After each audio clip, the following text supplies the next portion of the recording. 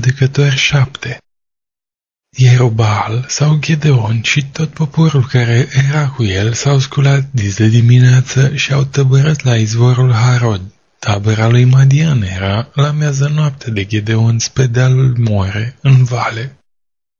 Domnul a zis lui Gedeon, poporul pe care l-ai cu tine este prea mult, pentru ca să dau pe Madian în mâinile lui. El ar putea să se laude împotriva mea și să zică, mâna mea m-a izbăvit.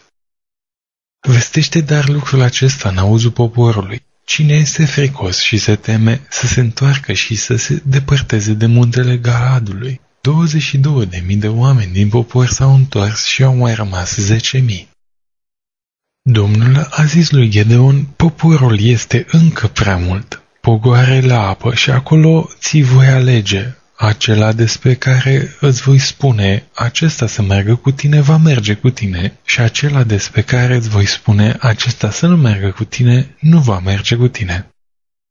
Gedeon a pogorât poporul la apă și Domnul a zis lui Gedeon pe toți cei ce vor lipăi apa cu limba, cum limpește câinele, să-i desparți de toți cei ce vor bea apă din genunchi.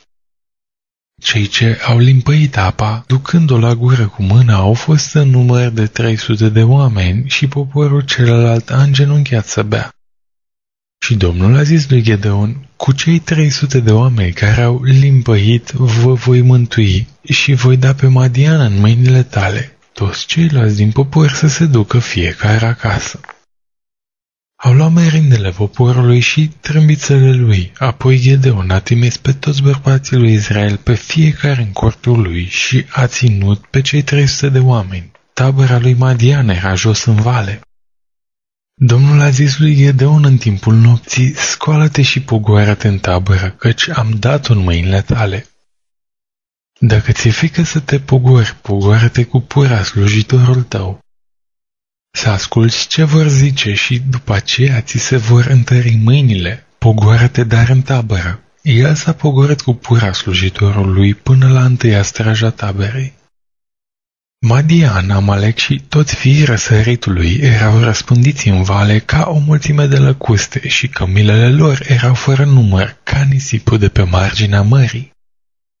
Gedeon a sosit și iată că un om istorisa tovarășului său un vis. El zicea, am visat un vis și se făcea că o turtă de or se rostogola în tabăra lui Madian. A venit, de-a lovit până la cort și cortul a căzut. L-a răsturnat cu susul în jos și cortul a fost dărâmat. Tovarășul lui a răspuns și a zis, aceasta nu este altceva decât sabia lui Gedeon, fiul lui Ioas, bărbatul din Israel. Dumnezeu a dat în mâinile lui pe Madian și toată tabăra. Când a auzit Gedeon istorisirea visului și tâlhuirea lui, s-a aruncat cu fața la pământ, s-a întors în tabăra lui Israel și a zis, Sculați-vă, căci Domnul a dat în mâinile voastre tabăra lui Madian. Am împărțit în trei cete pe cei 300 de oameni și le-a dat tuturor trâmbițe și ulcioare goale cu niște făclini ulcioare. El le-a zis să vă uitați la mine și să faceți ca mine. Cum voi ajunge în tabără să faceți ce voi face eu. Și când voi suna din trâmbiță, eu și toți cei ce vor fi cu mine să sunați și voi din trâmbiță de jur împrejurul taberei și să ziceți sabia Domnului și a lui Gedeon. Gedeon și cei o sută de oameni care erau cu el au ajuns la capătul taberei, la începutul străjii de la mijlocul nopții, îndată după ce puseseră pe păzitori. Au sunat din trâmbiță și au spart ulcioarele pe care le aveau în mână. Cele trei cete au sunat din trâmbiță și au spart ulcioarele, au apucat făclile cu mâna stângă și trâmbițele cu mâna dreaptă ca să sune și au strigat sabia Domnului și a lui Gedeon. Au rămas fiecare la locul lui în jurul taberei și toată tabăra a început să alerge, să țipe și să fugă. Cei 300 de oameni au sunat iarăși din trâmbiță și în toată tabăra Domnul i-a făcut să întoarcă sabia unii împotriva altora. Tabăra a fugit până la Bet și spre Țerera până la hotarul lui Abel Mehola lângă Tabat.